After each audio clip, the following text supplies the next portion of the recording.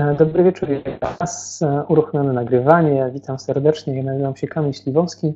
Prowadzę bloga otwartezasoby.pl i od wielu lat współpracuję z Koalicją Otwartej Edukacji. Byłem przez, e, przez dłuższy czas wiceprzewodniczącym, potem przewodniczącym Rady Koalicji Otwartej Edukacji. Teraz głównie zajmuję się prawem autorskim i licencjami jako trener i jako autor materiałów edukacyjnych. Współpracuję zarówno z bibliotekarzami, bibliotekarkami, jak i z nauczycielami, nauczycielkami wszystkich poziomów edukacyjnych. Dzisiaj spotykamy się z okazji Tygodnia Otwartej Edukacji, spotykamy się dzięki e, biuletynowi EBIB i dzięki Koalicji Otwartej Edukacji, które zorganizowały te dwa webinary.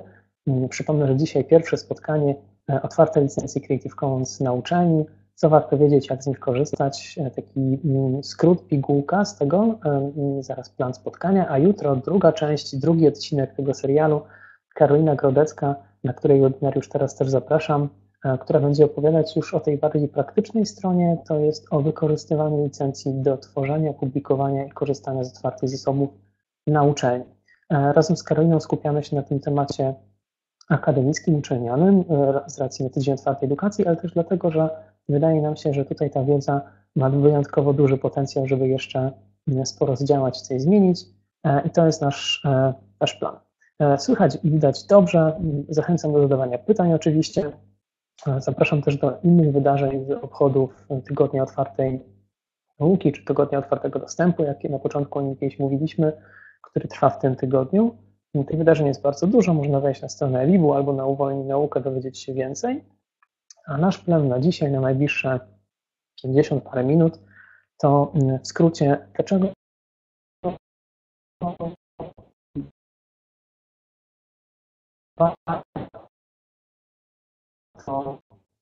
otwierać dostęp e, za Creative Commons, ale też innych, innych narzędzi prawnych do zasobów edukacyjnych akademickich, czyli podręczników, jak działają licencje Creative Commons do takich materiałów, w jaki sposób je zastosować. E, mam nadzieję, że tutaj dla osób, które o licencjach Creative Commons albo słyszały mało, ale po raz pierwszy będzie to wstęp, a dla tych, które słyszały już wcześniej, e, czy były na szkoleniach, były na innych webinarach, to będzie powtórka. E, I też e, to akurat e, dzisiaj trochę będę szerzej mówił niż chcę gdzieś krótko, zwłaszcza tym osobom, które tworzą, publikują albo pomagają publikować autorom i autorkom materiały edukacyjne na uczelni, takie minimum prawa autorskiego, które warto wiedzieć. Może nie, nie wykład oczywiście nie będziemy streszczać, ale przejdziemy sobie bardzo krótko na koniec przez to, o czym warto pamiętać, kiedy na przykład pozyskujemy albo kiedy negocjujemy umowy kiedy pozyskujemy prawa negocjacyjne umowy, żeby też zrozumieć, jak to się ma do licencji Creative Commons, jak sobie nie zablokować pewnych e, mm, możliwości wyboru licencji w przyszłości. No i oczywiście pytania. Pytania, do których zachęcam na czacie i na które będzie czas na koniec. Dobrze. E, od czego zaczynamy? To od tego, dlaczego. E, ja jestem wielkim fanem też wystąpień Simona Simka, którego polecam na, na zawsze więc te dwa pytania dlaczego, jeśli chodzi o stosowanie wolnych licencji w otwartej nauce. Jedno takie bardziej globalne, powiedział misja otwartej nauki, to to, że e, szeroki dostęp, łatwy dostęp i też dostęp z prawem do ponownego wykorzystania materiałów naukowych, wyników badań, wyników raportu, e, to jest szansa na przyspieszenie odkryć, przyspieszenie rozwiązań takich problemów jak e, problemy klimatyczne na świecie, problemy ochrony środowiska, ale nie tylko. Stanów Zjednoczonych argumentem za otwartym dostępem i za wolnymi licencjami, ogromnym, ogromnym argumentem, zwłaszcza który płynie ze świata medycyny, jest to, żeby jak najszybciej przyspieszyć, a przyspieszać, wzmacniać e, badania i wyniki badań i rozpowszechnianie wyników badań nad walką z nowotworem, ponieważ zajmują się tym e, setki tysięcy już naukowców na całym świecie. No i założenie jest takie, że jeżeli przyspieszymy im możliwość wykorzystania wzajemnie tych treści naukowych, które tworzą, wyników badań, to być może szybciej osiągniemy wyniki, które pozwolą nam leczyć efektywniej, szybciej, sprawniej mm, różne formy nowotworu. E, no i oczywiście tych problemów na świecie, które możemy sobie mm, wybrać, określić jako takie, które nauka ma szansę rozwiązać, jeżeli ją przyspieszymy, jeżeli ją wzmocnimy, jest bardzo dużo.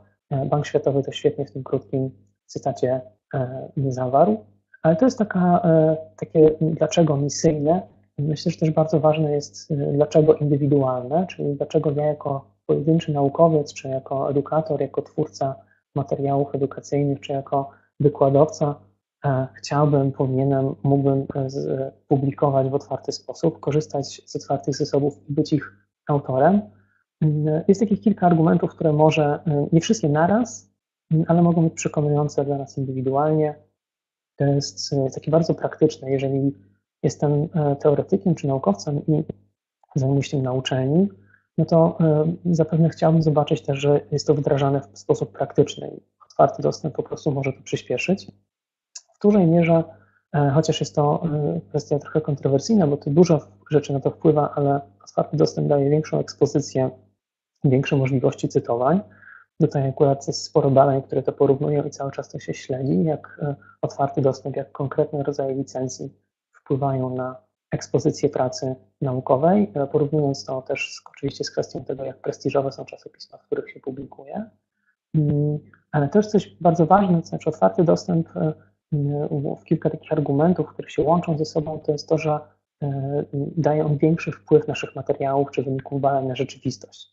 Większy, ponieważ e, otwarty dostęp też e, z założenia wychodzi poza świat naukowy, czyli daje dostęp praktykom, daje dostęp do tej wiedzy naukowej osobom, które są poza akademią, poza uczelnią i to już jest ogromny, jakby niedostrzegalny wcześniej przez wiele lat plus, ogromny plus otwartego dostępu. A te wolne licencje, o których zaraz sobie opowiemy, one będą po prostu nam to ułatwiać. Ale najważniejsze jest najpierw powiedzieć sobie, dlaczego chciałbym coś takiego robić, dlaczego bym chciał otwierać dostęp do swoich materiałów, czy dostęp do materiałów ze swoich. To było nasze dlaczego. To dlaczego też e, oczywiście jest poparte wynikami badań. Ja przytaczam w źródłach takie dwa, w prezentacji będą do kliknięcia i do czytania. E, to jest po pierwsze tego, jak szybko wzrasta ilość czasopism, które jest publikowane w różnych dziedzinach nauki na wolnych licencjach. E, I to jest bardzo ciekawe. Dominują licencje te najbardziej liberalne, te, które dają najwięcej możliwości. Jednym z takich bardzo prostych argumentów jest to, że te najbardziej liberalne licencje najlepiej, najszybciej pozwalają nam tłumaczyć utwory naukowe, artykuły naukowe, podręczniki z jednego języka na drugi. Co jest dzisiaj kluczowe, jeżeli e, publikujemy e, i chcemy publikować w sposób e, szybko popularyzujący się, to wybierzemy prawdopodobnie język oczywiście angielski, ale to działa w, w, w wiele różnych stron. Po prostu te publikacje w otwartym dostępie na wolnej licencji, która pozwala na tłumaczenie, to, to osiągają jakby taki największy zwrot z inwestycji. A ze świata kultury, który jest bardzo bliski, taki argument, który najlepiej pokazuje ten wykres, proszę się mu przyjrzeć przez chwilę, E, i, i zobaczyć jedną bardzo prostą rzecz. To jest wykres pokazujący, jak e, materiały, które publikuje Smithsonian Institute, czyli mm, zbiór dwudziestu kilku muzeów narodowych mm, w Stanach Zjednoczonych, które właśnie są zrzeszone pod tą nazwą Smithsonian, przez wiele lat publikowały swoje treści zdigitalizowane w, w internecie na stronie. W pewnym momencie zaczęto publikować je również w serwisie Flickr, który udostępnia zdjęcia multimedia. I po jakimś czasie zdecydowano się również opublikować te same treści w Wikipedii. Widzą Państwo przeskok ogromny między tym, jak często te treści są odwiedzane w momencie, kiedy są zlinkowane, udostępnione, kiedy są widoczne w Wikipedii. Jest to e, rząd wielkości, e, kiedy na jakiś zasób wcześniej wchodziło powiedzmy sto kilkadziesiąt osób rocznie, to tutaj nagle na konkretny obiekt cyfrowy wchodzi 100 tysięcy. I to jest ogromny przeskok. Najlepiej chyba go rozumieją e, i dostrzegają młodzi ludzie, którzy bardzo szybko dzisiaj po prostu są pewni wręcz, kiedy nawet zgooglają jakiś termin, e, którego potrzebują do szkoły, mm, to wiedzą, że są w pierwszym wyniku prawie zawsze na Wikipedii e, i tam dostają te, te informacje. Więc Wikipedia, a szerzej w ogóle ten bardzo łatwo, szybko dostępny internet po prostu powoduje ogromne przyspieszenie i ułatwienie korzystania z takich treści. No więc pytanie też dla nauki, dla świata nauki, w jaki sposób być szybko, wygodnie, efektywnie w Wikipedii i w tym internecie, który jest internetem osób, które szukają dostępu do wiedzy, tych informacji. Ale to były nasze tylko argumenty, a teraz zobaczmy, jak to się ma do praktyki. Pytanie trochę dla Państwa, tak na szybko, e, na, e, na też e, odpowiedź, którą na tablicy można pisać. Proszę albo na czacie, albo tutaj na tej tablicy napisać, z jakich elementów składa się taki nowoczesny podręcznik akademicki, na przykład podręcznik do fizyki jakie rodzaje treści on w sobie ma, zawiera, co byśmy tam wrzucili, co powinien mieć. Ja wrzuciłem ten przykład do fizyki celowo, ale to może być dowolny podręcznik akademicki.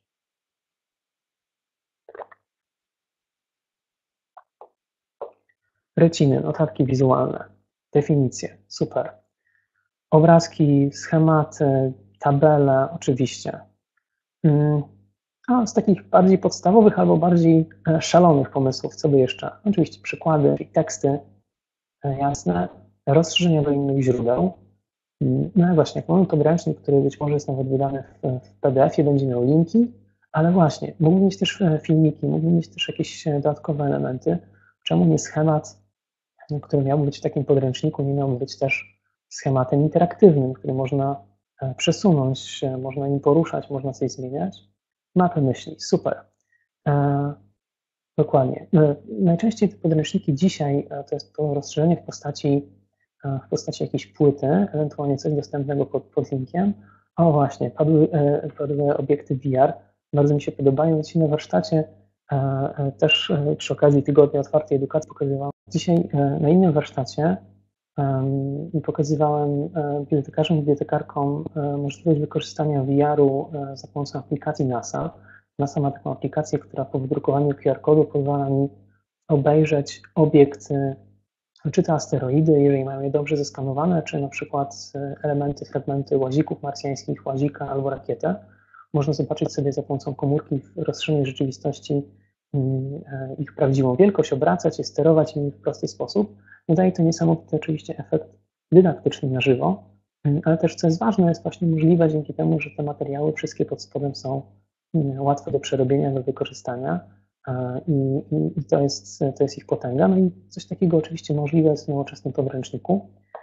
I tutaj e, pierwsza, pierwszy taki link, e, e, który wrzucam na czacie, do którego zachęcam, żeby teraz zajrzeć.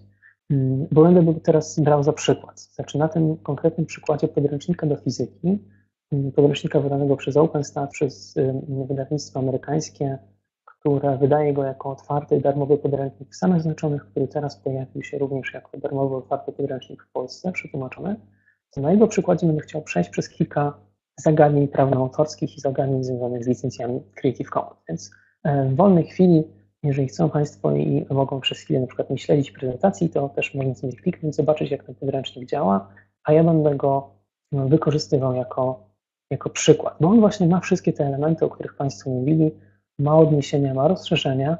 E, możliwe, że e, można e, też korzystać z niego w ten sposób, że oglądamy filmy, oglądamy schematy, a sam podręcznik też jest oczywiście w wersji papierowej, już do papierowej do samodzielnego druku, czy jako PDF. Natomiast on właśnie próbuje eksplorować e, dzięki temu, że jest otwarty i ma możliwość na przykład korzystania z zewnętrznych elementów, z zewnętrznych źródeł i rozszerzeń, to może jakby poszerzyć tę definicję, co to znaczy podręcznik. E, e, w Stanach Zjednoczonych OpenStax robi podręczników dwadzieścia kilka do różnych przedmiotów, więc też polecam w wolnej chwili nie tylko fizyką sobie zajrzeć. Natomiast no, dla mnie będzie ważne, skoro już mamy te teksty oryginalne, to ten podręcznik powstał po angielsku.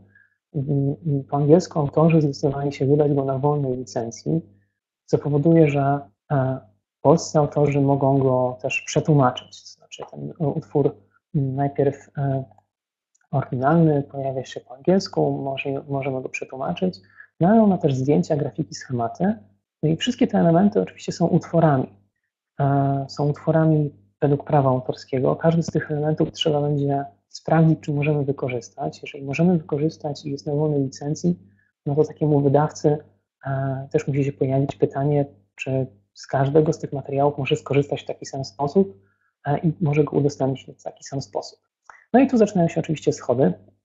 Każdy z tych materiałów, czy to będzie taka grafika, czy to będzie jakiś schemat i tak dalej, będzie dostępny w różny sposób. Musimy się tego nauczyć sprawdzać. Więc korzystając z tego prostego przykładu podręcznika, Zachęcam Państwa do jednego prostego bardzo ćwiczenia. To, co będziemy chcieli teraz zrobić, to proszę przypomnieć sobie dziedzinę, z której Państwo, e, z której Państwo pracują albo którą Państwo studiowali, wejść w Google Grafika. E, takie standardowe ćwiczenie, podejrzewam, że wiele Państwa osób już go robiło na wielu ćwiczeniach i spotkaniach albo na webinarach, ale teraz tak na szybko e, ono nam z tym jeszcze dodatkowo pomoże. Czyli zachęcam do wejścia w Google Grafika, już też wrzucam, wrzucam link oczywiście, E, do Google do grafiki. I oczywiście e, to, co chcemy zrobić, to jest przefiltrować wyniki wyszukiwania w Google grafice. Jak już e, będziemy szukać czegoś związanego z naszą działką pod kątem praw do użytkowania. Gdzie Państwo to znajdą, jeżeli ktoś z tego nigdy wcześniej nie korzystał? Tutaj wziąłem właśnie przykład z tego podręcznika do fizyki. On bardzo dużo zdjęć mm, takich elementów, jak na przykład turbiny wiatrowe. No więc szukam turbiny wiatrowej, żeby pomóc temu autorowi podręcznika wrzucić takie fajne zdjęcie czy schemat z turbiną wiatrową do, do książki. E, więc w pierwszym kroku szukam turbiny wiatrowej, albo Państwo mogą szukać czegokolwiek innego. E, klikam na narzędzia. W narzędziach dostaję opcję materiału oznaczone do ponownego wykorzystania. E, I tutaj wybieram sobie opcję drugą, ale proszę wybrać dowolną, która jest szersza niż tylko dowolna licencja. I w tym momencie dostaję zatężenie wyników wyszukiwania, czyli Google filtruje mi treści mm, tej turbiny wiatrowej jest oczywiście mniej, zamiast setek tysięcy dostaje kilka tysięcy i dostaje głównie wyniki z Wikipedii albo z Pixel, albo z podobnych serwisów.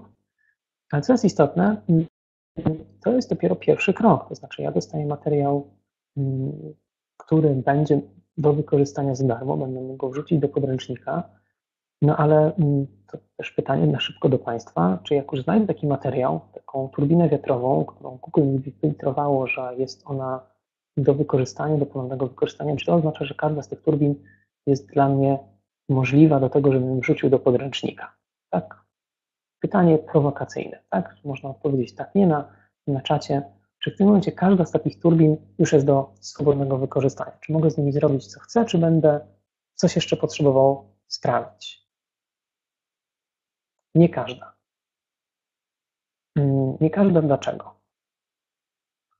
Super. E, już wiedzą Państwo, na pewno trzeba będzie oznaczyć autora. Jeżeli się pojawi taka informacja, trzeba sprawdzić licencję. No tu kolejna gwiazdka. Mm, też nie możemy za każdym razem ufać Google'owi, musimy to, to sprawdzić. No właśnie, też licencji jest dużo. Sam tym wybiera Creative Commons. Już tutaj widać w Google, że masz e, sześć opcji. Trzeba dotrzeć do źródła. Super, to będzie też kolejna bardzo ważna rzecz, zwłaszcza w nauce to znaczy, e, myślę, że tutaj myśląc o wykorzystywaniu treści na e, wolnych licencjach i prawie autorskim w nauce, w wydawaniu artykułów, w wydawaniu podręczników, wręcz e, poza kwestią prawną autorską będziemy musieli zawsze szukać tego źródła i oryginału, to jest będzie najlepsze i najbezpieczniejsze. No dobra, to taki krótko mały, mały, krótki eksperyment z tym. To, co nas będzie interesowało, to jest to, żeby za każdym razem, kiedy szukamy tego źródła i sprawdzamy licencję, żeby właśnie trafić na plik e, w, w tej jego źródłowej postaci, ale też, żeby dotrzeć do takiej strony. I tu znów szybkie, krótkie pytanie. Ile osób z Państwa, które te, e, korzystało kiedykolwiek wcześniej, trafiło na treści Creative Commons, e, na zdjęcia, korzystało z nich, trafiło na tę stronę, tak wyglądającą niebiesko-czerwoną? Tu muszę powiedzieć, że bardzo często znam osoby, które korzystają z Creative Commons, ale tą stronę widują bardzo rzadko. Super, często, chyba raz w życiu.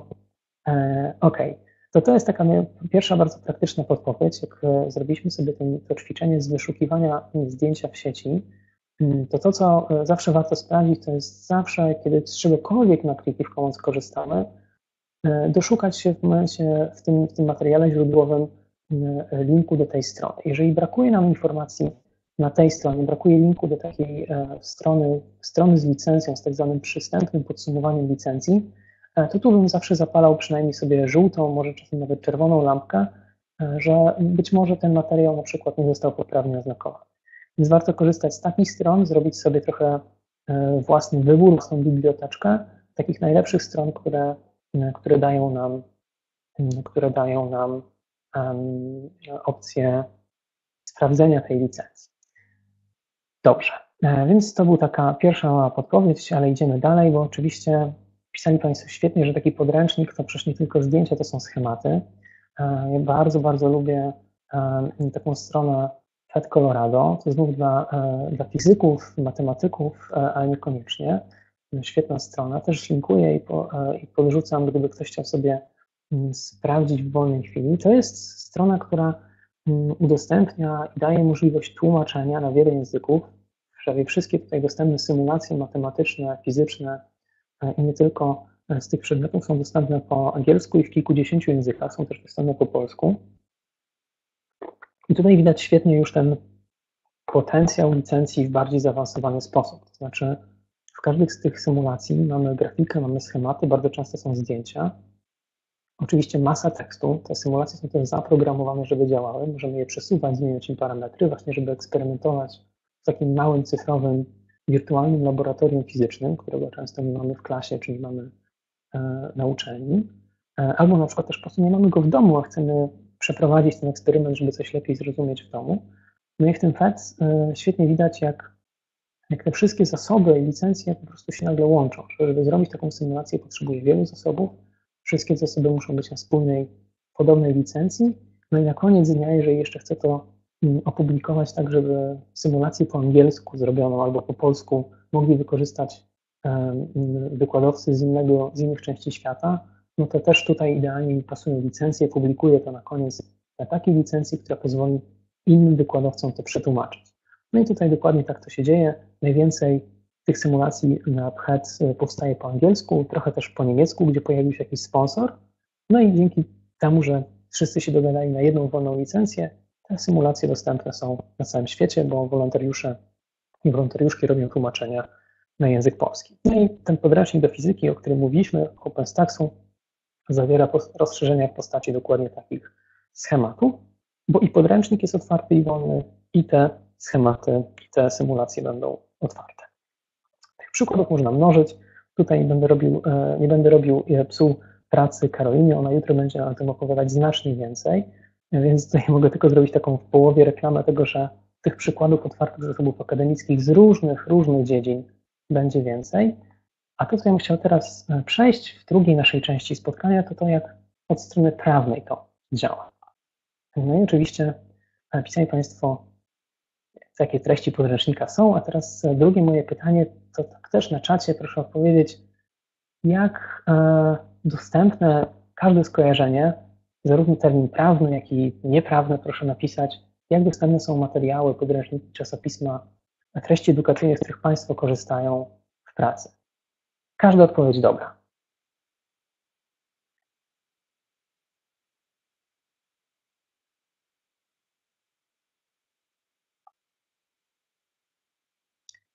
Super. E, materiały, które są open source'owe, czyli otwartym kodzie źródłowym, też pewnie otwarte zasoby. Bardzo często materiały, które są wykupione przez uczelnie, czyli na przykład tylko ta konkretna uczelnia ma do nich dostęp. Dominują zasoby cyfrowe e, na różnych wolnych licencjach, często, ale o właśnie, chyba takie dwie główne odpowiedzi, które padają na razie, e, tak jak trochę myślałem że będzie to są albo otwarte zasoby, zasoby na licencjach różnych Creative Commons, albo zasoby kupione też w licencjach, ale już bardzo często licencjach wyłącznych, takich, z których może skorzystać jedna biblioteka, jedna uczelnia. E, no i tutaj pojawia nam się taki podstawowy pierwszy problem, który trochę skomplikowany, ale, ale jednak ważny schemat nam e, przedstawia. E, to jest, to jest schemat taki w uproszczeniu, chociaż i tak duży, jak Państwo widzą, który mówi, w jaki sposób dostępne są treści w sieci. E, I e, jeżeli spojrzymy na tą piramidę do dołu, to mm, na samym dole, na czerwono, ale też u spód piramidy, czyli e, możemy to czytać w ten sposób, że, no, że tych materiałów jest najwięcej. Mamy te treści, które są zarówno dostępne jako chronione przez prawo autorskie. Wyobraźmy sobie właśnie zamknięte czasopismo, które jest dostępne tylko w formie papierowej i czasopism, jeżeli w wersji cyfrowej, to zabezpieczonej. Mm, czyli muszę na przykład zapłacić, żeby dostać PDF-a albo żeby dostać, żeby dostać do artykułu w jakiejś formie. I tych treści jest nadal najwięcej. To znaczy digitalizujemy na potęgę, udostępniamy na potęgę, ale e, w każdej dziedzinie, w nauce, w edukacji, e, w kulturze, tych treści, które są jeszcze zamknięte, e, czy to cyfrowo, czy zamknięte tylko dlatego, że są jeszcze analogowe wyłącznie, jest najwięcej. I też e, w tej grupie, tej czerwonej podstawie piramidy e, mamy treści, które są zabezpieczone w sposób technologiczny. E, I należy zwrócę uwagę, to może nie jest kwestia prawna aż tak bardzo, ale bardzo ważna. To są też treści, na przykład, które jeżeli są dostępne cyfrowo, to nie można ich łatwo skopiować, czyli na przykład mają zabezpieczenia typu DRM. To się zdarza w nauce, ale znacznie częściej zdarza się oczywiście w kulturze, w rozrywce, tam gdzie takie treści na płytach oczywiście właśnie mają co najmniej znak wodny, a bardzo często też zabezpieczenie, które na przykład nie pozwala mi skopiować tekstu w większym fragmencie, albo w ogóle nie pozwala mi kopiować tekstu. Czyli z perspektywy na przykład nauki zupełnie bez sensu, bo ani cytować wygodnie się nie da, ale też bardzo często nie da się zastosować żadnych narzędzi na takim tekście. Albo mogę dostosować tylko te narzędzia, które mi dał mm, wydawca, ale już nie mogę własnych. Potem idąc krok wyżej mamy open access, czyli to, co mm, klasycznie rozumiem jako otwarty dostęp, to od czego zaczęła się też otwarta nauka. Nie zmieniamy jeszcze kwestii prawno-autorskich bardzo często, e, ale dajemy już możliwość darmowego dostępu. E, I tak celowo oddzieliłem ten open access, e, ten poziom 1, ten pomarańczowy, mm, bo tutaj chciał wprowadzić taki podział, który te osoby, które pracują w nauce, to, to świetnie wiedzą, ale który, mm, który nie zawsze jest tak jasny i czytelny, to jest ten open access, który daje mi tylko dostęp, nie daje mi jeszcze warunków prawnych dodatkowych, e, który, e, który jest tak zwanym dostępem gratis, czyli za darmo, e, a ten poziom drugi, który nas najbardziej interesuje, a z którego oczywiście jeszcze jest ten poziom najwyższy zielony, to jest dostęp Libre, gdzie mamy treści dostępne już z dodatkowymi uprawnieniami, czyli możemy coś zrobić z tymi treściami więcej niż nam pozwoli dozwolony użytek, więcej niż nam pozwoli tylko dostęp za darmo. E, I to jest dosyć kluczowe, też zaraz to zobaczymy na licencjach Creative Commons. Mówiłem też o tym na początku przy rozwoju tych czasopism otwarto-dostępowych, które korzystają z licencji CC BY, z tej najbardziej liberalnej, bo o ile otwarty dostęp gratis daje mi możliwość zapoznania się z tekstem, przeczytania go, to on nie daje mi na przykład możliwości jego przetłumaczenia, zmodyfikowania, zastosowania jakichś bardziej zaawansowanych narzędzi, które wymagają na przykład przeróbki materiału, przeróbki tekstu, przeróbki podręcznika, a dopiero wtedy, że tak powiem, zaczyna się prawdziwa rozrywka i wyzwanie e, i wtedy możemy e, i wtedy możemy faktycznie e, ruszyć z tym postępem naukowym, no bo samo czytanie już dzisiaj nam nie wystarczy. Potrzebujemy jeszcze jakiegoś dodatkowego uprawnienia do tego, żeby treści przerabiać. No i tu krótko wspomniałem, dostęp gratis to świetnie jest rozdzielony. Ten dostęp gratis też można opowiedzieć o nim trochę z drugiej strony, że dostęp gratis e, opiera się o zasadę taką, że nawet jeżeli za darmo mam dostęp do tych treści, to jedyne, co mogę z nimi zrobić, to jest to, na co mi pozwala dozwolony użytek, który w Polsce jest akurat dosyć szeroki. Na przykład taką książkę z biblioteki mogę zeskanować e, i wykorzystać ją sobie prywatnie, no ale nie mogę tego na przykład dalej rozpowszechniać, więc ten, ten dostęp gratis daje mi tylko tyle, ile daje mi dozwolony użytek według prawa autorskiego, a ten dostęp Libre, ten, ten, ten poziom najwyższy, on daje mi możliwość już udzielania dalej e, i przerabiania dalej samemu tych materiałów, ale też udzielania tej zgody kolejnym osobom, czyli ja mogę nie tylko przerobić ten artykuł, mogę też swoją przeróbkę udostępniać i tak dalej. I to szybko oczywiście się będzie rozwijało i to jest to, do czego E, do czego dążę, ale jak to zrobić i w jaki sposób to działa e, technicznie, no to e, do tego już potrzebujemy tego narzędzia, tej ostatecznej, ostatniej dzisiaj najważniejszej rzeczy, czyli sprawnego zastosowania licencji Creative Commons. Czy to będzie podręcznik do fizyki, ten OpenStacksowy, na przykładzie naszym, czy to będzie artykuł naukowy, to będzie się to opierało o wybór licencji. I tu znów szybkie pytanie na czacie. E, podejrzewam, że większość osób e, słyszało o licencjach Creative Commons, a ile osób tak e, mogłoby się przyznać, że z licencji Creative Commons korzystało w sposób praktyczny, to znaczy albo oznaczyło kiedykolwiek, wykorzystało i oznaczyło materiał innej osoby na licencji Creative Commons, albo swój map opublikowali Państwo na licencji Creative Commons kiedykolwiek w życiu, w dowolnym kontekście. Oznaczają Państwo swoje,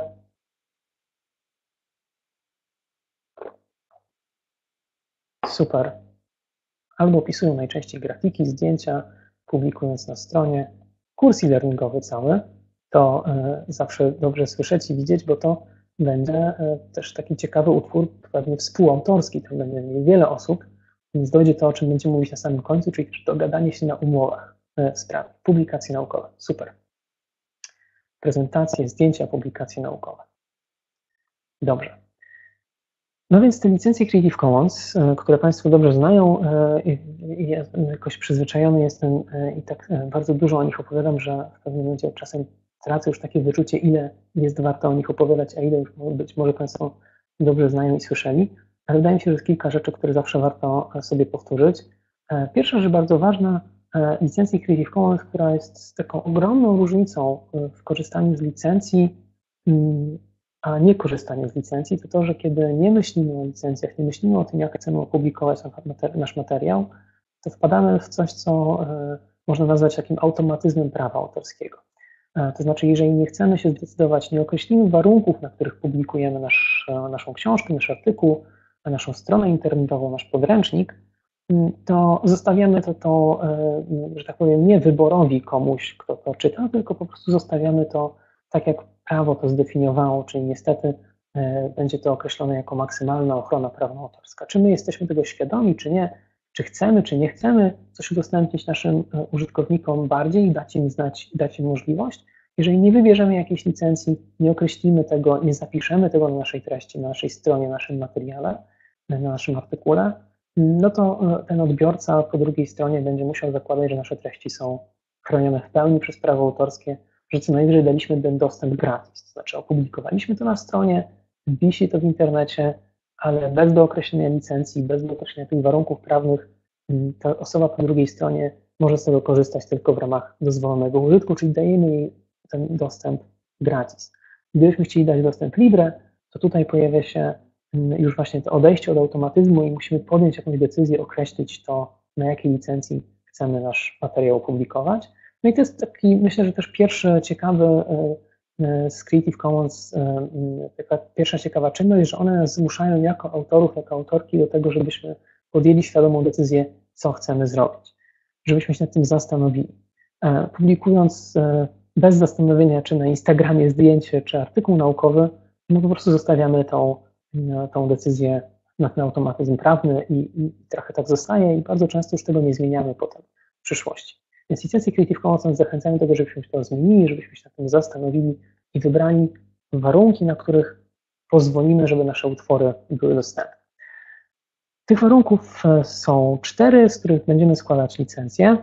Tutaj świetnie widać, że znaki graficzne odpowiadają też w bardzo szybkim, dużym skrócie, tak żeby łatwo można było to odczytać temu, jakie są te warunki. I te warunki są wyjątkowo proste, natomiast z nich składa się licencje i te licencje już są troszeczkę bardziej skomplikowane. Możemy wymagać podpisu, to jest minimum, możemy wymagać tego, żeby nasze treści były dostępne tylko niekomercyjnie, możemy wymagać tego, żeby nasze treści były dostępne tylko w oryginale i nie chcemy pozwalać na tworzenie utworów zależnych. I ostatnia rzecz, możemy też wymagać tego, żeby nasze treści pozwalamy, żeby były modyfikowane, ale nie pozwalamy i nie chcemy, żeby treści były te treści, które są e, zmodyfikowane, żeby były dostępne na innych warunkach prawnych. Chcemy, żeby były na tej samej licencji.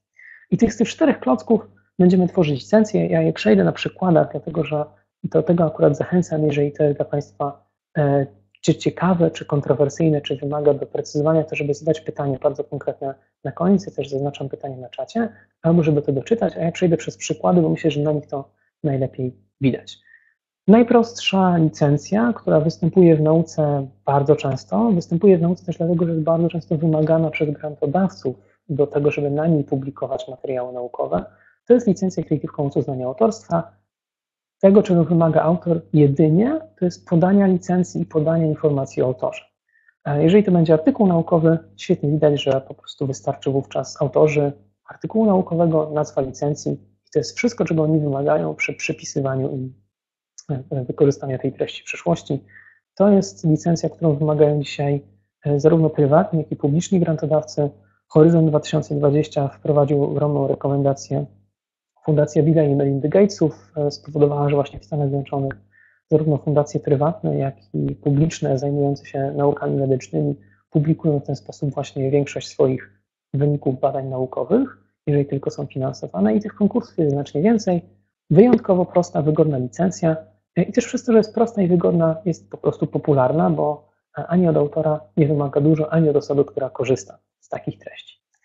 E, poziom wyżej mm, tą poprzeczkę nam stawia Wikipedia. I Wikipedia e, dlatego stawia tą poprzeczkę wyżej, dlatego że e, Wikipedia wymaga, aby nie tylko podpisać autorów, to taka ciekawostka, Wikipedia nawet pozwala podpisywać autorów prościej niż, niż by na to wskazywała licencja, ponieważ Wikipedia pozwala nam zlinkować do strony z listą autorów, których może być do artykułu tysiące, mm, a nie musimy wypisywać wszystkich tych autorów, bo to byłoby zbyt trudne. Natomiast Wikipedia nam nie pozwala zmienić tych warunków prawnych, zmienić licencji na treści, które tworzymy z wykorzystaniem materiałów treści z Wikipedii. E, mówimy o takiej licencji, że jest wirusowa bardzo często, czyli że ona zaraża utwory zależne. tą licencją pierwotną, no i ona nam pozwala zachować te treści w tym obiegu wolnym, darmowym, czyli że treści powstające na bazie licencji, na bazie treści z, z Wikipedii, na takiej licencji, one będą też dla wikipedystów do wykorzystania nawet wtedy, kiedy ktoś e, ich je przerobi i zrobi ich modyfikacje, czyli mogą korzystać z wszystkich utworów zależnych, tak samo jak oni pozwolili korzystać z tych utworów, które stworzyli na Wikipedii. To występuje w nauce jak najbardziej też, natomiast rzadziej e, to jest licencja, która jest wygodniejsza w takich treściach e, społecznościowych, która działa właśnie trochę łańcuchowo. Tutaj czytam, odczytuję pytania, ale do nich wrócę na koniec. E, do tych kilku, które się pojawiły. Idąc dalej, kolejne licencje, które w nauce występują rzadziej, ale myślę, że też warto o nich wspomnieć. Są licencje, które po pierwsze zabraniają komercyjnego wykorzystania. Mm, prosta licencja wymaga podpisu i wymaga tego, żebyśmy niekomercyjnie wyłącznie korzystali. E, British Archive korzysta na przykład z takiej licencji dla swojego ogromnego archiwum wideo. Jeszcze poziom wyżej mamy licencję, która zabrania mi modyfikowania treści, czyli mogę korzystać z utworu tylko w oryginale, E, UNESCO Publishing korzysta z takiej licencji, w ten sposób publikuje swoje raporty i swoje materiały. Przepraszam. E, czyli mogę je wyłącznie korzystać z nich jeden do jednego, no ale już tutaj nie mogę zrobić tłumaczenia na przykład, nie mogę zrobić utworu zależnego. I kolejne licencje, licencja, która jest dosyć popularna i występuje często w nauce, to jest licencja uznania autorstwa użycie niekomercyjne na tych samych warunkach, na nim dostępna jest na przykład treść z Akademikana, e, wideo i treści edukacyjne, które są dostępne na stronie Akademikana. Czyli ona mi pozwala na kopiowanie, modyfikowanie, ale nie mogę ich komercyjnie wykorzystać. Czyli na przykład nie mogę e, przerobić w, do reklamy albo w celach zarobkowych materiałów z Akademikana. I licencja ostatnia, najbardziej e, restrykcyjna, która zdarza się w nauce też dosyć często. Myślę, że najczęściej z tych wszystkich licencji Creative Commons i te będą rekomendowane, te będą najlepsze, to będzie licencja uznania autorstwa, to pierwsze, najprostsze. Natomiast sporo wydawnictw, które wywodzi się ze świata czysto komercyjnego, e, ono przechodzi na ten dostęp gratis, e, z tego dostępu gratis na Libre bardzo powoli. Takim przykładem na przykład jest De Gruyter, który większość swoich czasopism e, wydaje na licencji uznania autorstwa, użycie niekomercyjne bez utworów zależnych Czyli tutaj widzą Państwo, że tak naprawdę jest to niewiele więcej poza dostęp gratis. Czyli ja mogę zrobić sobie kopię tego materiału, mogę rozpowszechnić kopię, ale nie mogę jej przerobić, nie mogę zrobić tłumaczenia i też nawet tą kopię mogę robić tylko i wyłącznie e, w celach niekomercyjnych. E, Elsevier działa w ten sam sposób, to dziękuję za podpowiedź. No tak, tutaj będzie dużo wydawnictw. Ja sobie przygotowałem taką bardzo krótką listę. Ona mogła być znacznie, znacznie większa. E, największym wydawcą zdecydowanie w tym momencie naukowym w otwartym dostępie jest Public Library of Science i to jest też największy mm, udostępniacz, jeżeli można tak to nazwać, materiałów i artykułów naukowych na licencji Creative Commons uznania autorstwa. Zaraz po nim Biomed Central, ale to, tych, tych, jest, tych serwisów, tych czasopism, tych agregatorów i wydawców naukowych jest znacznie, znacznie więcej. Tutaj polecam tak naprawdę chyba najbardziej żeby sobie zajrzeć do, mm, na bloga Manuela Kulczyckiego, który pisze o tym e, zarówno w czasopismach, ale też pisze o nich w konkretny sposób, na przykład jak szukać, gdzie znaleźć polskie czasopisma Open Access i sprawdzić, na jakich licencjach wydają, w jakim modelu. E, jeżeli, jeżeli Państwo wydają albo pomagają wydawać komuś naukowo, to, to tam odsyłam, bo, e, bo to jest pewnie najlepsze źródło. A w następnym kroku, tak powoli już zmierzając ku pytaniom, jest na temat licencji Creative Commons kilka mitów, e, takich związanych ze światem naukowym, które też warto sobie rozpracować. E, takim pierwszym to jest to, że e, używanie licencji Creative Commons do publikowania ono zwiększa ryzyko plagiatu moich treści. E, no, jeżeli tutaj ktoś już nie wyczuwa zupełnie w tym, w tym dowcipu historii, to, no to oczywiście najprostszą odpowiedzią na ten mit jest to, że oczywiście być może na początku publikowanie w internecie w latach 90. powodowało, że łatwiej komuś było to skopiować i zrobić plagiat, mm, ale dzisiaj tak naprawdę największe ryzyko plagiatu mają te treści, które e, publikowane w ogóle nie są, albo publikowane są w bardzo rzadki sposób i są trudno dostępne, e, bo akurat publikowanie w otwartym dostępie i na licencjach Creative Commons umożliwia najszybsze, najłatwiejsze automatyczne sprawdzanie tego, czy jest to plagiat, czy nie. I tutaj licencje nie mają tak naprawdę żadnej roli. To jest kwestia tego, czy coś jest dostępne w internecie, czy nie, i czy jest dostępne w otwarty sposób, na tyle, żeby właśnie systemy antyplagiatowe mogły to wykrywać. Natomiast to ryzyko plagiatu zależy od warunków prawnych, na których publikujemy. E, druga rzecz, która się też często zdarza, i tutaj właśnie odpowiadając na pytanie wielu wydawców czy autorów, że licencje Creative Commons e, są dostępne tylko wtedy, kiedy podpisujemy umowy nieodpłatne. E, zdecydowanie nie. To znaczy, możemy kupić treści na licencji, albo możemy kupić od kogoś treści i wydać się sami na licencji Creative Commons i za stworzenie materiału, za dzieło, za artykuł, mm, za plakat, za podręcznik możemy jak najbardziej zapłacić. Możemy też wymagać e, opłaty od kogoś, kto nam zleca treści, które zostaną wydane na licencjach Creative Commons. E, I tutaj e, też, żeby to szybko potwierdzić, to też polecam mm, wzory umów prawno-autorskich na licencję Creative Commons, na zakup treści odpłatnie albo na pozyskanie treści nieodpłatnie. Są wzory licencji, które publikuje Koalicja Otwartej Edukacji.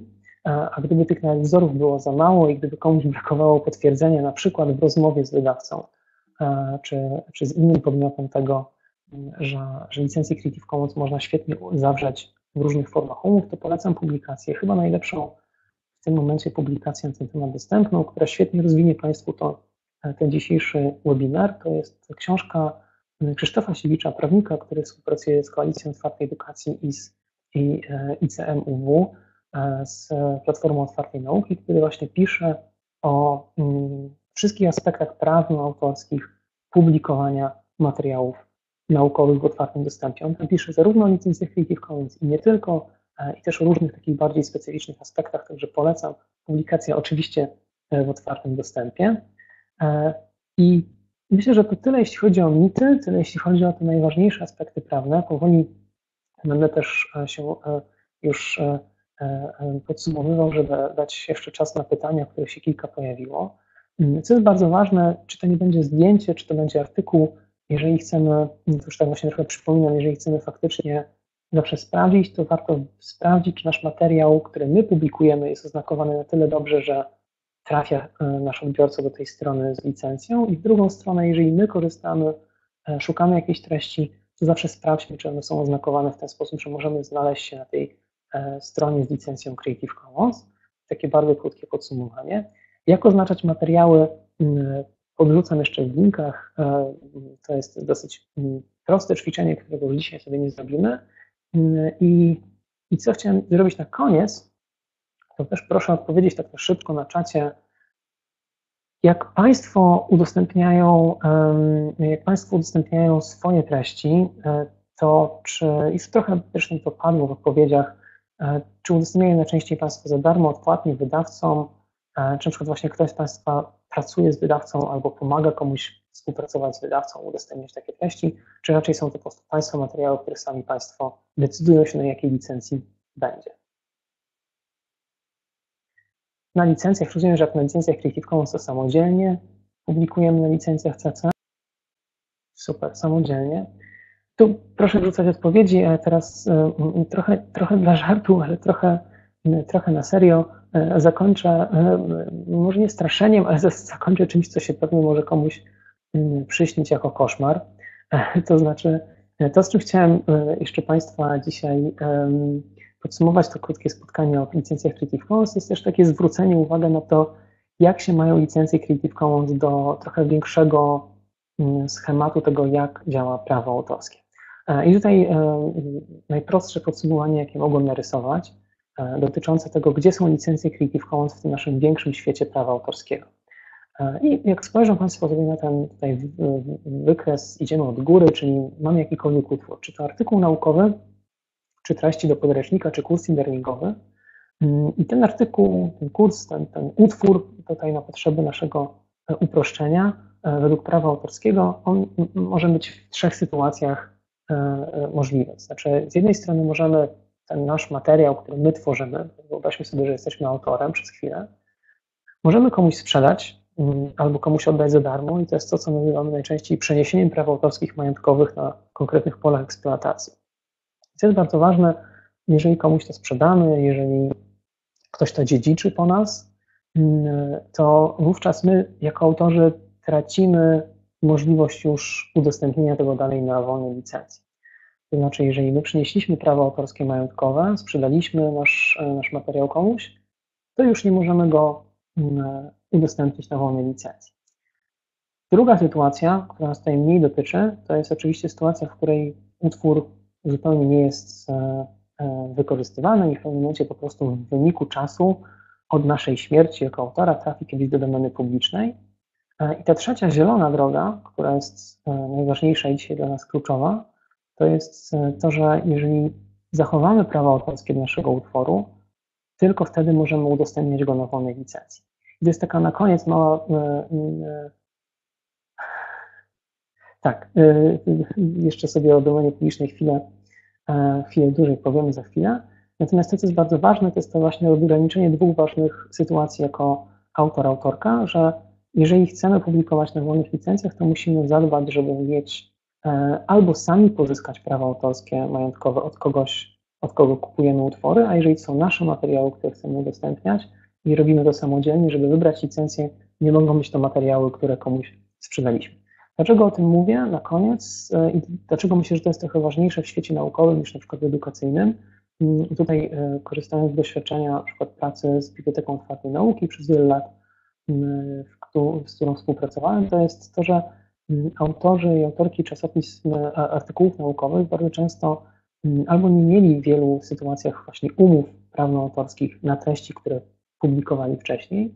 I w momencie, kiedy dzisiaj na nowo chcieliby w internecie opublikować swój artykuł, swój materiał, nawet cały czasem swój podręcznik, co się też zdarzało, mm, okazuje się, że na przykład nie mają tych praw autorskich majątkowych do swojego własnego utworu. I myślę, że dla świata naukowego to jest wyjątkowo ważne i korzystne, żeby myśleć o tym, że licencje Creative Commons to nie tylko zbawianie świata i przyspieszenie rozwoju nauki, to nie tylko też jest zwiększanie swoich e, współczesnych możliwości dystrybucji i pozyskiwania cytowań i odbiorców, ale to jest też taki wygodny po prostu system na to, żeby zarządzać swoimi prawami autorskimi na przyszłość. Więc jeżeli jest to możliwe, no to mm, autorom e, najbardziej się opłaca nie sprzedawać swoich materiałów, a udzielać licencji. I to najlepiej licencji niewyłącznych, e, czyli takich, które pozwalają zarówno wydać coś w czasopiśmie i wydać nam samodzielnie na licencji Creative Commons, czyli patrząc na ten schemat tutaj, e, podążać zawsze tą najbardziej zieloną drogą, czyli licencyjną, ona daje nam jako autorom największą swobodę tego, że możemy jeszcze zmieniać, podejmować kolejne decyzje w przyszłości. W momencie, kiedy przyniesiemy prawa autorskie majątkowe na konkretnych polach eksploatacji, no wówczas zawężamy sobie diametralnie możliwość wydawania tego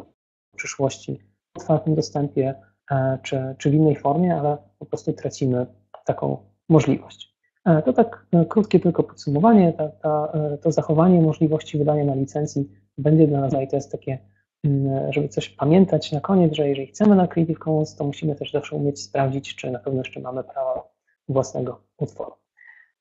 Ja będę odpowiadał za chwilę na pytania. Krótkie podsumowanie w prezentacji, która w formie PDF będzie przesłana mailem do wszystkich osób, które brały webinarium. To tak jak obiecywałem na początku, jak ktoś dołączył w trakcie, cała prezentacja będzie w sieci, będzie wysłana mailem, będzie na stronie Otwartej Edukacji dostępna i moja i Karoliny.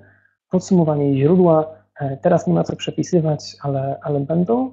To są te, z których ja korzystam i które bardzo polecam Państwu do zapoznania się więcej, dłużej w wolnej chwili, trochę jako praca domowa. E, materiały, które właśnie pomagają się zorientować w kwestii prawno-autorskich i licencji e, w nauce. Mm, przypominam, że jutro o godzinie 20 kolejne webinarium z Karoliną. Ja też polecam bardzo pytania co tydzień. Koalicja Otwartej Edukacji ma dyżur prawnika gdzie Krzysztof Siedziwicz albo e, inni prawnicy odpowiadają na pytania mailowo bądź e, telefonicznie. E, no i kończąc już, zachęcam oczywiście do brania udziału w innych wydarzeniach z Tygodnia Otwartej Nauki, a ja zaczynam przeglądać pytania. Jeżeli ktoś ma, to proszę pisać, a ja już odpowiadam. Dobrze, to teraz po kolei postaram się odpowiedzieć przez najbliższe kilka minut na te pytania, na które mogę. 4.0, 3.0, 2.5, 2.0 to są wersje licencji. 4.0 jest to najnowsza, e, dostępna międzynarodowo, to znaczy jest to jedna wersja licencji dostępna już e, na całym świecie w tej samej formie, e, więc będziemy zapisywać jako 4.0 międzynarodowa. Najlepsza wersja, zdecydowanie zalecana, żeby korzystać z najnowszej. warunki licencji się nie zmieniają między wersjami, czyli zawsze to będą te same, na przykład uznanie autorstwa 3.0 i 4.0 będą ze sobą zgodne, natomiast 4.0 daje nam kilka takich ciekawych przewag, zarówno z takich specyficznych, na przykład w zakresie publikowania baz danych, ale też, co jest bardzo ciekawe, e, w 4.0, jeżeli ktoś naruszyłby Państwa e, licencję, to mają Państwo obowiązek dać znać, e, jeżeli jest taka możliwość takiej osobie i przez 30 dni, jeżeli nie mamy odpowiedzi, to po 30 dniach dopiero możemy taką osobę pozywać do sądu, co wydaje się dosyć proste, ale jest taką, takim buforem małym w czasie, że jeżeli ktoś popełnił błąd, czyli na przykład zabrakło podpisu pod naszym artykułem, pod naszym zdjęciem i ta osoba jest y, dostępna, jest z nią kontakt, no to dajemy jej szansę i ma te 30 dni, żeby e, żałując za błąd naprawić go, a niekoniecznie musimy od razu ją, ją ścigać, ale możemy, no oczywiście, jeżeli to jest naruszenie licencji, mamy taką możliwość, licencje działają w ramach prawa autorskiego, w ramach tej mocy ustawowej, która daje mi możliwość e, e, pójścia do sądu, jeżeli ktoś naruszył moje prawa autorskie, majątkowe w postaci warunków licencji. E, czy CC by SA, czyli Creative Commons uznanie autorstwa na tych samych warunkach trochę jest jak blockchain? E, ciężko mi to odpowiedzieć na to pytanie, w takim sensie, że ta licencja jest e, faktycznie ze sobą zawsze związana, czyli każdy utwór kolejny na bazie licencji CC by SA będzie związany z poprzednim tak, więc to trochę tak działa, natomiast nie ma żadnego mechanizmu śledzenia i formalnego łączenia tych utworów ze sobą. Więc pod tym względem to byłoby ciekawe zobaczyć, jak połączyć blockchain z licencjami Creative Commons i ja trochę na to osobiście czekam, czy pojawią się takie narzędzia też technologiczne. A jeśli autor udostępni wydawnictwu artykuł na licencji CC BY, czyli uznania autorstwa, to wydawca musi udostępnić go na tych samych y, warunkach. Nie, nie musi. Mm, to znaczy, jeżeli e, ja udostępniłem taki artykuł wydawnictwu, i udostępniłem go na licencji, co jest też ważną różnicą, czyli że nie sprzedałem artykułu do czasopisma, które ma go wydać, czyli tylko udostępniłem licencję. To znaczy po pierwsze, że mm, ten wydawnictwo powinno, kiedy będzie udostępniać ten artykuł, zastosować się do zasad licencji, czyli oznaczyć mnie jako autora. E, najlepsza licencja do tego, żeby artykuł był tłumaczony, to będzie każda licencja, która udostępnia, umożliwia modyfikowanie czyli wszystkie licencje, które nie mają warunku ND, to po pierwsze. Mm, a po drugie, wydaje się, że jeśli to jest publikacja zwarta, książkowa, to w ogóle najczęściej będzie to po prostu licencja Creative Commons uznania autorstwa. To znaczy, to jest ta licencja, która pozwala też wydawcy, temu, kto tworzy tą publikację większą, swobodę tego, jak e, zebrać e, te materiały, które mogą być na różnych licencjach w formie książkowej. I to będzie najczęściej zalecana do tego, do tego licencja ale też warto pamiętać, że jeżeli to jest na przykład zbiór artykułów, a nie, mm, nie wiem, rozdziału jednej książki na temat różny, tylko po prostu jednak zbiór różnych artykułów różnych autorów, to książka może zawierać materiały na różnych licencjach. To znaczy jeden artykuł w książce może być na jednej licencji, a drugi artykuł trzeci może być na innej. To się zdarza. Natomiast jeżeli są osobne artykuły, gdyby to miały być rozdziały książki, e, czy materiały, które są ze sobą jakkolwiek połączone, to będziemy potrzebować, żeby to było na jednej licencji i tutaj najczęściej to będzie CC BY po prostu, czyli uznanie autorstwa. Będzie dostępny PDF z prezentacją i nagranie na YouTubie. Sprzedawanie ćwiczenia do nauki języka opartego na materiały autentyczne, przykład uproszczony artykuł z gazety, podcasty. Tutaj polecam zdecydowanie Prawo Kultury i ten serwis dyżur prawno-autorski, który polecam w bibliografii. Wrzucę jeszcze raz link, e, dlatego że to jest e, Dosyć ciekawe pytanie, na których jest aż kilka różnych odpowiedzi, jeżeli mogę e, zasugerować, dlatego że mm, tutaj znajdą Państwo właśnie pytanie odpowiedzi w dziale pierwsza pomoc, e, gdzie jest kilka różnych sytuacji, na które warto zwrócić uwagę, kiedy chcemy korzystać z e, materiałów cudzych w naszych ćwiczeniach, czyli na przykład na ile nasze uproszczenie jest inspiracją i wtedy możemy swobodnie z tego skorzystać, a na ile e, ono już przekracza tę e, kwestię materiału inspirowanego i zaczynamy korzystać z, kopiować czyjeś fragmenty, kiedy jest ta granica przekroczona i tworzyć utwory zależne. Tutaj polecam, jest co najmniej kilka ciekawych pytań i odpowiedzi na szczegółowych przykładach, zarówno z wideo, z ćwiczeń z kursów e-learningowych. Na jakiej licencji będzie ten materiał dostępny, na uznanie autorstwa. Wystarczy będzie podać naszych autorów, zarówno tutaj akurat wszystkie zdjęcia są wolne w mojej prezentacji, jak i cała prezentacja będzie w ten sposób dostępna. Mm, czy można posługiwać się swobodnie linkiem? Tak, na razie tak, to znaczy nie zapowiada się, żeby to szybko się zmieniło. Linkowanie treści nie tworzy kopii, nie, nie robimy kopii utworu, nie rozpowszechniamy kopii utworu, a wyłącznie e, informacji źródłową, która do niego przekierowuje. Co powoduje, że według prawa autorskiego, jeżeli nie tworzymy kopii, e, to nie rozpowszechniamy bez, bezprawnie czyjegoś utworu, tylko do niego linkujemy. Natomiast co jest e, ważne, to oczywiście to nie ma znaczenia, do czego linkujemy tak naprawdę. To, to pytanie Urszuli. Natomiast e, co jest gdzieś tam kwestią przyszłości, no to właśnie e, toczy się dyskusja o tym, żeby jednak e, próbować, z czym się nie zgadzam mocno w środku, ale żeby próbować też ograniczyć możliwość legalnego linkowania do treści, które na przykład w jakiś sposób mogą naruszać czyjeś prawa autorskie, majątkowe, czyli dokładnie to, o czym czym pisze w pytaniu, pytaniu Urszula, czyli na przykład gdybyśmy chcieli linkować do treści, które nie są w otwartym dostępie, ale które na przykład jakoś funkcjonują w internecie na Sci-Hubie albo czymś podobnym, no to e, być może to w przyszłości nie będzie legalne, ale dzisiaj w pełni jest. No dobrze, to chyba były wszystkie pytania. Przekroczyliśmy chwilę tylko mm, czas. E, bardzo przepraszam, że, że pojawiały się przerwy e, krótkie w dostępie treści albo nie internetu, nie wiem. Nagraniu powinno wszystko działać poprawnie, z nagrania też te krótkie momenty wytnę. E, mam nadzieję, że wykład się przydał. Bardzo zachęcam jutro o godzinie 20 Karolina Grodecka, druga część o otwartych zasobach. E, I zapraszam oczywiście, żeby odwiedzić nas na YouTubie i sprawdzić maile za kilka dni. Wyślemy linkę do nagrania, wyślemy prezentację. A ja na dzisiaj bardzo serdecznie dziękuję. Bardzo miło było e, porozmawiać na czacie e, i odpowiadać na pytanie. Dziękuję serdecznie. Do usłyszenia do zobaczenia i do spotkania na żywo. Miłych obchodów tygodnia otwartej e, nauki w, w tym tygodniu na Państwa uczelniach, bibliotekach i nie tylko. Pozdrawiam i dobrej nocy.